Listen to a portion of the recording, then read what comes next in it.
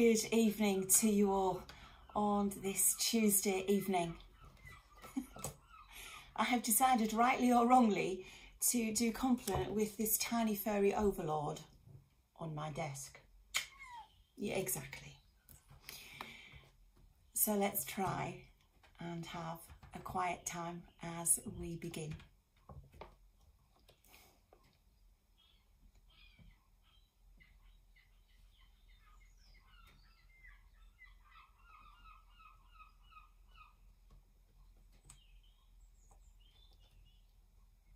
I will lie down and sleep in peace. For you alone, Lord, make me dwell in safety. O God and Spirit, and Jesu the Three, from the crown of my head, O Trinity, to the soles of my feet, mine offering be. Come I unto thee, O Jesu my King, O Jesu, do thou be my sheltering. My dear ones, O God, bless thou and keep in every place where they are. Whoever has chosen to make the shelter of the Most High their dwelling place will stay in his overshadowing. He alone is my refuge, my place of safety. He is my God, and I am trusting him.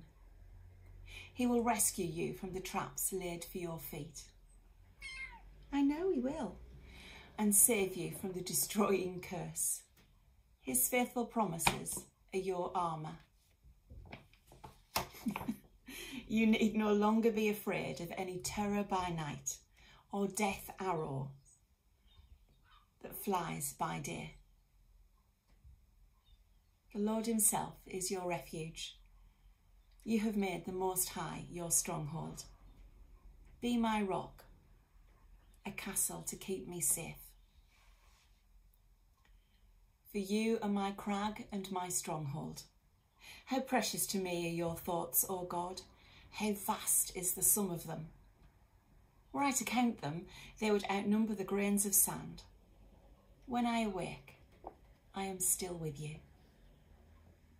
I will not lie down tonight with sin, nor shall sin nor sin's shadow lie down with me.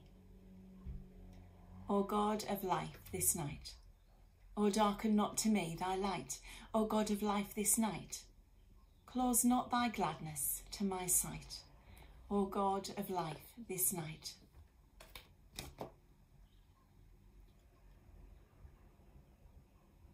And we're going to do our reading now. Kitten assuming.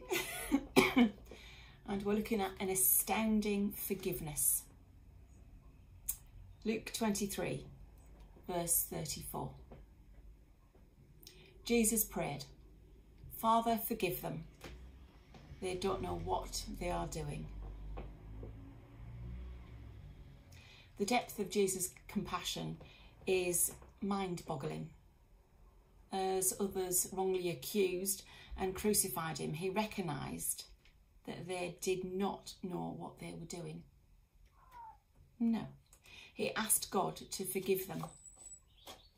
It is an astoundingly poignant picture, one that should resonate with your soul as we read those words tonight.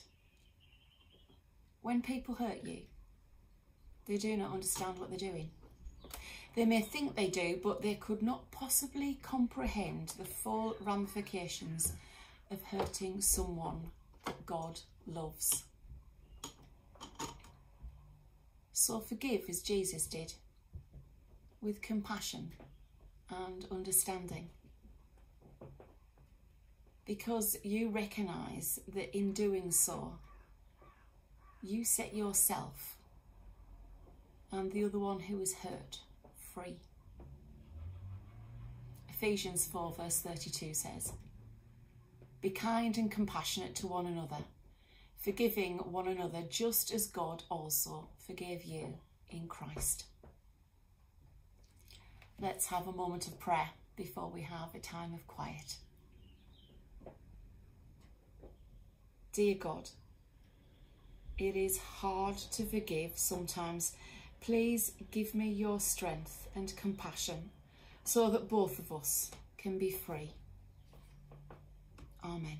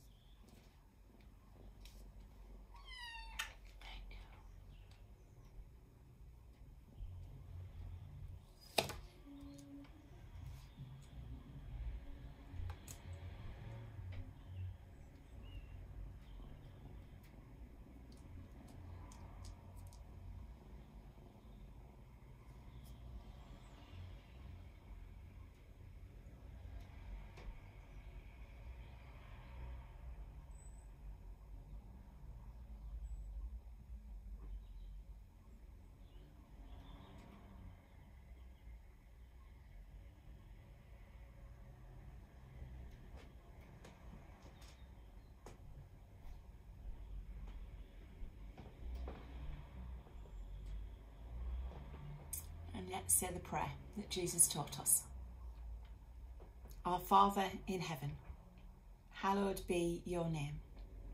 Your kingdom come, your will be done, on earth as in heaven. Ow! Give us today our daily bread. Forgive us our sins, as we forgive those who sin against us. Lead us not into temptation, but deliver us from evil. The kingdom, the power, and the glory are yours, now and forever. Amen. Be it on thine own beloved arm, O God of grace, that I in peace shall waken. Jesus, Son of Mary, my helper, my encircler. Jesus, Son of David, my strength everlasting. Jesus, Son of Mary, my helper, my encircler. The peace of all peace be mine this night. In the name of the Father, and of the Son, and of the Holy Spirit. Come here, you. Thank you for joining me and Teddy this evening. Please take care of yourselves. Good night and God bless you.